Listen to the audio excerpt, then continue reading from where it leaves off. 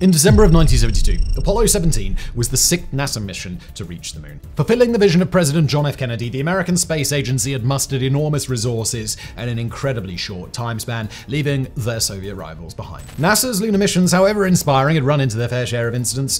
Think the tragic fire of Apollo 1 or the near disaster of Apollo 13. Public interest waned, Washington tightened the purse strings, and thus Apollo 17 astronauts Gene Cernan and Harrison Schmitt were the last humans to set foot on the moon. But the fire of ambition, fueled fueled by science and healthy billion dollar budgets, will propel NASA once more towards our pale nighttime companion. The next destination will be the moon's south pole, a dark and mysterious area which promises to be a treasure trove of scientific discovery. But this time, the moon will be an intermediate station, humankind's gateway to an even more distant frontier. This is NASA's insanely ambitious Artemis program, a plan to establish a semi permanent moon presence above the moon and lay down a gateway towards Mars. The Artemis program currently consists of four main planned missions aimed at returning to the lunar orbit and surface and are just part of the larger vision for space exploration dubbed by NASA as Moon to Mars. The foundations for this vision were laid down in 2004 during the administration of President George W. Bush with the clear ambition of sending humans back to the moon and eventually to Mars. From this perspective, Artemis makes for a perfect name. In ancient Greek mythology, she was the personification of the moon, but before that, she was worshipped as goddess of the hunt, portrayed with a bow and arrow. We like to think that Artemis will thus nook one of her arrows and shoot humankind toward the red planet. The current program was consolidated by President Donald Trump's Space Policy Directive 1, instructing NASA to achieve a lunar landing by 2024.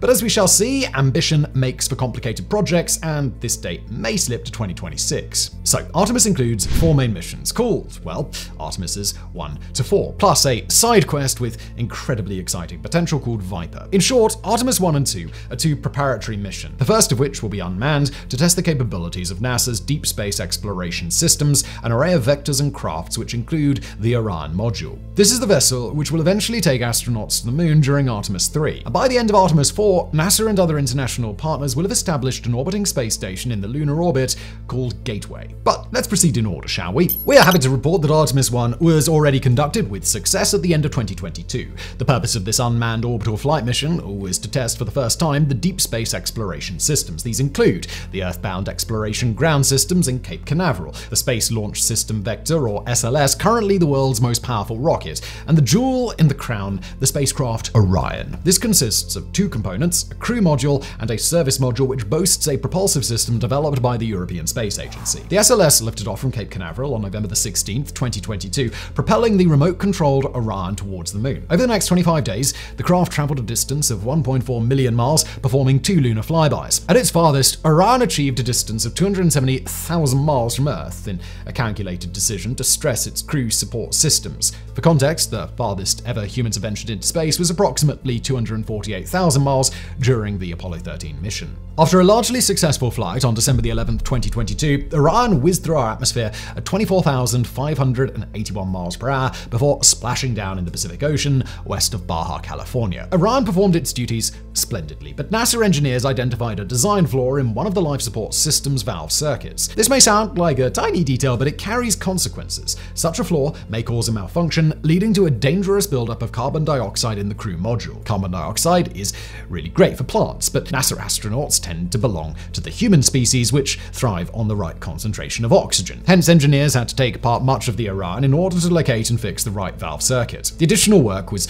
bound to cause a delay on the next phase of the program, Artemis 2. But while the NASA repair shop's busy at work, let's take a look at the side quest that we hinted at earlier. The Volatiles investigating Polar Exploration Rover, aka Viper. This mobile robot is scheduled to land on the lunar South Pole at the end of 2024 on a mission to find ice and other resources to be used by future stages of Artemis. The small robot will roam the craters of the South Pole, areas which are permanently cloaked in shadows. As such, they are amongst some of the coldest spots in the entire solar system, where ice reserves have resisted for billions of years. The data collected by the rover will provide us invaluable clues about the origins and distribution of water over the lunar surface and on how to harvest this potential resource. NASA have proudly described Viper as the first ever resource mapping mission on another celestial body. The potential of the Viper is immense. Just think about the possibility of harvesting water on the spot, both to conduct experiments on the origin of our most precious liquid or simply to serve the need of a permanent human presence on the moon. The Orion unmanned flight was to be followed in 2024 by Artemis 2, but NASA reports that it will now take place no earlier than September 2025. Artemis 2 will consist of a crewed flyby of the moon taking place over 10 days. The key objectives will be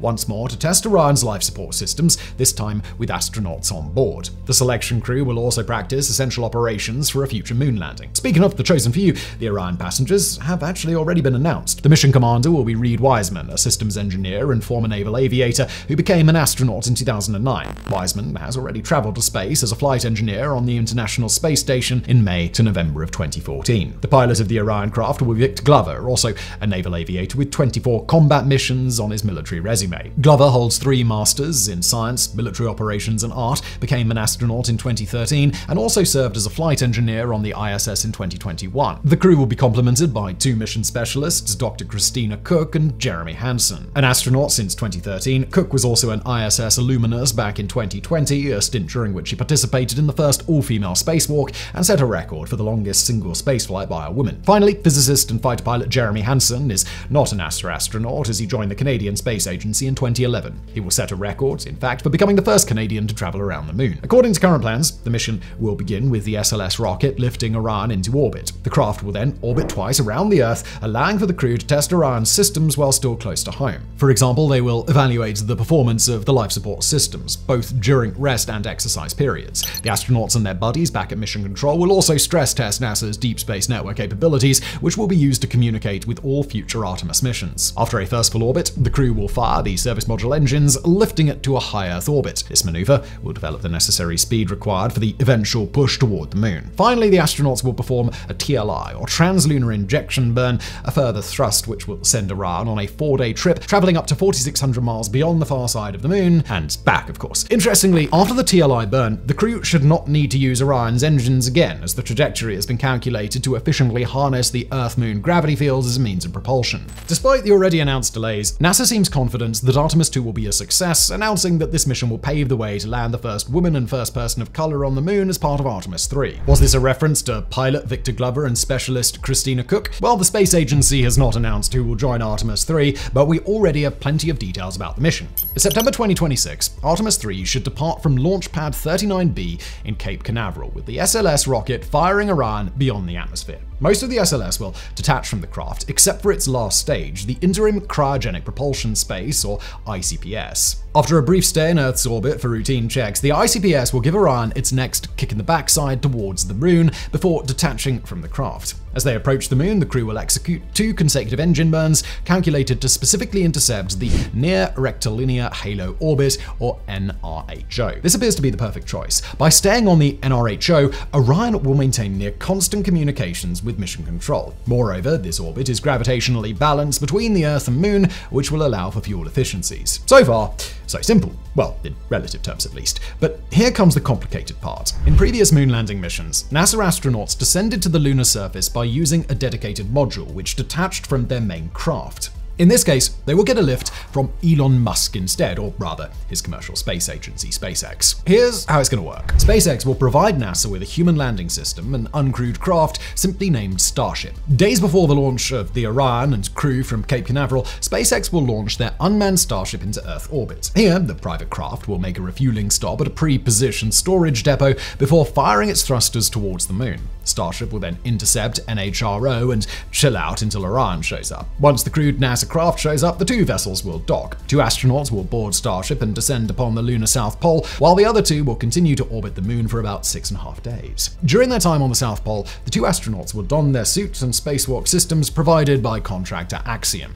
They will then set out to explore. This will be a particularly challenging task. Some areas of the South Pole are flooded by unforgiving sunlight, while others are shrouded by shadows which have not been lifted in billions of years. Thus, temperatures range between the extreme low of minus 203 Celsius to highs of 54. That's minus 334 and 130 Fahrenheit, by the way. As they navigate this extreme environment, the two astronauts will capture footage, retrieve samples, conduct geology surveys, and collect necessary data to accomplish the objectives of the Artemis Science Plan. The plan seeks to reveal new findings about the history of the Sun, for example, by studying the effects of solar wind upon the lunar South Pole. Another exciting objective involves understanding the cycles of lunar polar volatiles. To clarify here, volatiles are solid elements or compounds which change state at even moderately warm temperatures. The humble ice cube is a volatile as it turns from solid to liquid when temperatures rise above 0 degrees Celsius.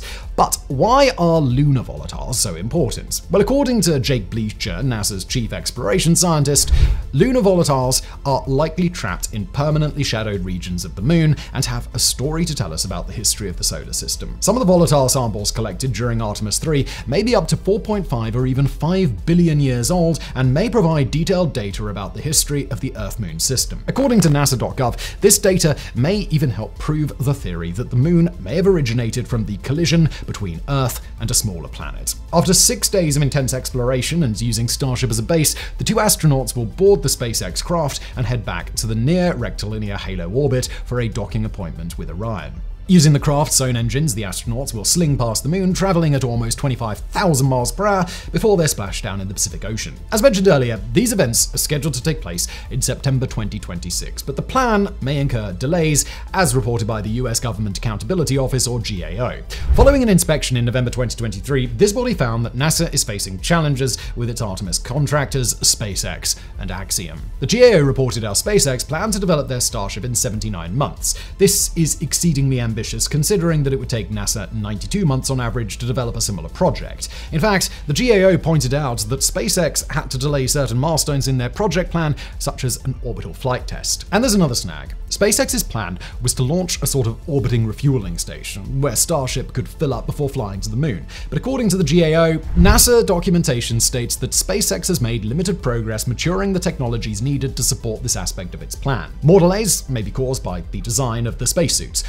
Contractor Axiom leverage previous designs developed by NASA, but it appears that, quote, NASA's original design did not provide the minimum amount of emergency life support needed for the Artemis 3 mission. As a result, Axiom representatives said that they may redesign certain aspects of the spacesuit, uh, which could delay its delivery for the mission. These hurdles are almost certain to have a knock on effect on the next phase of the Moon to Mars roadmap, the Artemis 4 mission.